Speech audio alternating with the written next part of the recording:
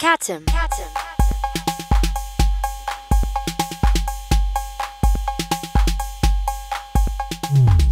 Всем привет! В августе Roland выпустил обновление для драм-машины Roland TR8S. Я это обновление прощелкал, прошло полгода, и вот только сейчас, зимой, я решил обновить ее. Мне немного стыдно за это, но сейчас я это исправлю. И ведь это обновление настолько большое, что оно практически на треть увеличивает э, производительность данного инструмента. Эта прошивка дает возможность из Roland TR8S сделать еще и FM драм-машину. FM синтез это такой синтез, где один осциллятор э, модулирует другой на высоких частотах, частотах, и чем частота выше, тем звук богаче, насыщеннее. По сути, для FM синтеза вообще не нужны, наверное, фильтры, потому что тембр меняется от одного к другому очень быстро, и вы можете найти уникальный звук, и это очень интересно. Вообще FM синтез в свое время чуть не убил аналоговый синтез, когда в 80-х годах вышла Yamaha DX7, наверняка все знаете этот инструмент. Это такой клавишный синтезатор, который был практически у всех на студиях после того, как они выкинули свои модульные синтезаторы э, на помойку, и они стояли никому не нужные. Потом, конечно, все изменилось, аналоговый синтез э, вернулся, вот, но FM-синтез в свое время дал музыкантам проявить новые возможности в сфере музыки. FM-перкуссия — это всегда какие-то интересные эксперименты. Например, есть Nord э, Drum, это такая маленькая красная коробка, она есть у многих на студиях. Это такой FM-драм синтезатор, который позволяет создавать очень крутые звуки. Считается тоже одним из эталонов в сфере digital драм машин. Есть еще Model Cycles, по-моему, так называется. Это новый э, FM синтезатор, драм синтезатор от компании Electron, тоже не так дорого стоит, довольно доступный инструмент, можно попробовать. Я в свое время, когда подбирал себе что-то из FM, именно перкуссии, я купил себе Alchemist Taiko. Это Еврорек модуль, который позволяет генерировать как раз-таки вот эти вот FM э, звуки перкуссии. Это очень крутой модуль. Вот. И теперь, когда я буду обновлять свой TR8S, э, нужен ли мне Alchemist Taiko, я уже не знаю, потому что, по сути, он должен покрыть все эти нужды в FM-перкуссии. Вместе с добавлением FM-модуля в драм-машину также появились э, некоторые эффекты морфинг, ринг-модуляция, frequency shifter. Это также расширяет вашу драм-машину. И, конечно, обязательно нужно обновиться, если вы это еще не сделали. Сейчас мы будем делать это, я покажу, как это будет делать, и посмотрим, э, какая драм-машина у нас станет. Так, нам необходима будет флешка.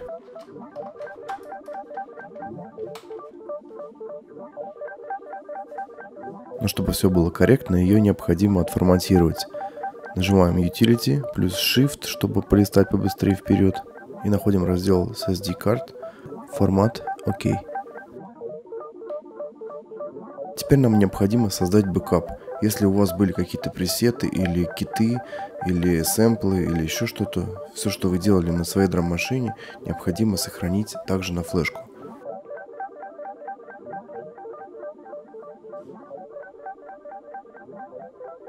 Теперь нам необходимо загрузить драм-машину в режиме Storage Mode. Это позволит на компьютере видеть эту флешку как USB устройство. На официальном сайте скачиваем обновление. Там будет архив, разархивируйте его и у вас будет bin файл.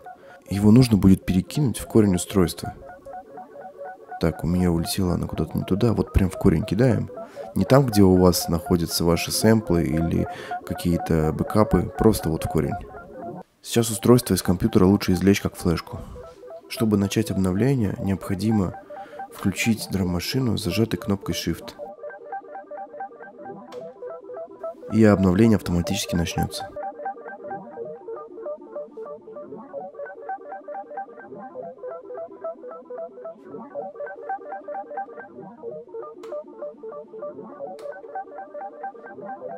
Ну вот, все готово. Версия 2.0. Теперь необходимо найти раздел и сбросить все до заводских настроек. Не знаю зачем, но так вроде было написано. Наверное, чтобы устройство работало лучше. Далее снова выключаем, включаем.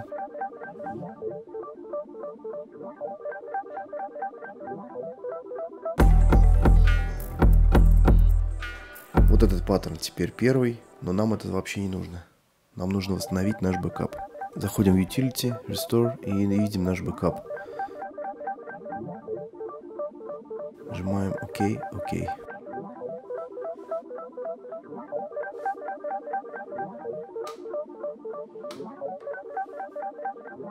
И вот прошивка версия 2.0 и мой паттерн, который был всегда у меня в начале.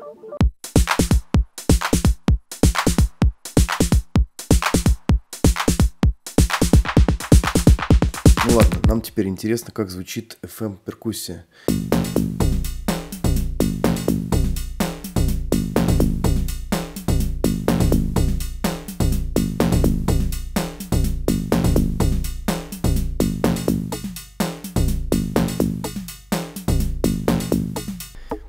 Я настроил кит таким образом, что в каждый инструмент положил по FM звуку и создал несколько паттернов.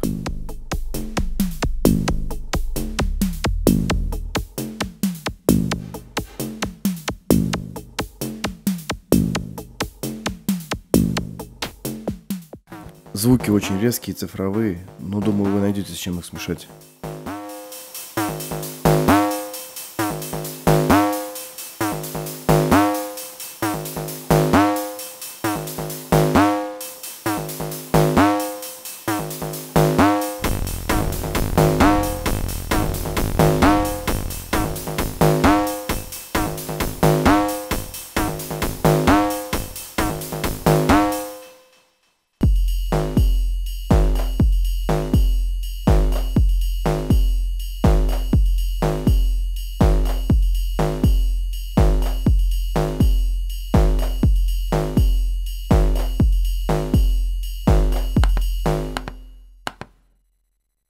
Roland TR8S это цифровая драм-машина. У нее есть внутренний движок ACB, он так называется. Это специальный такой движок, который компания Roland разработала для того, чтобы восстанавливать звуки своих вот старых олдскульных драм-машин, таких как 808, 909, 707.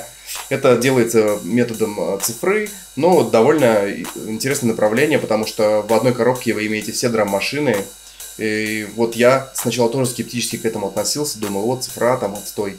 Но когда я получил это устройство, мне оно очень понравилось, оно очень удобное, и на нем можно в легкую набивать биты. И по сути вот это желание делать какие-то винтажные звуки, оно отпало. Эта драм-машина также является сэмплером. Вы можете, вот, например, эти винтажные звуки загрузить в нее и использовать. То есть что-то цифровое, что-то э, с помощью сэмплов. А теперь еще можно с помощью FM также делать какие-то перкуссии. Это здорово.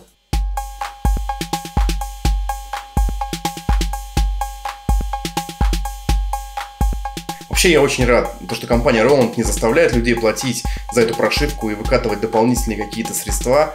Это просто бесплатное обновление, которое расширяет возможности вашего инструмента Просто вообще здорово. Я не знаю, сидишь такой, не ожидаешь, э, что твой инструмент может на треть еще расшириться, и вот бац, и выпускает новую прошивку, которая просто увеличивает функционал твоего инструмента. Если каждый инструмент увеличить функционал на треть, то представляете, да, сколько можно ресурсов было сохранить, не покупая новые инструменты. Ну что же, всем спасибо, кто смотрел это видео. Надеюсь, оно было для кого-то полезным. Подписывайтесь на канал. Я буду также еще выкладывать, наверное, видео про Roland TR8S.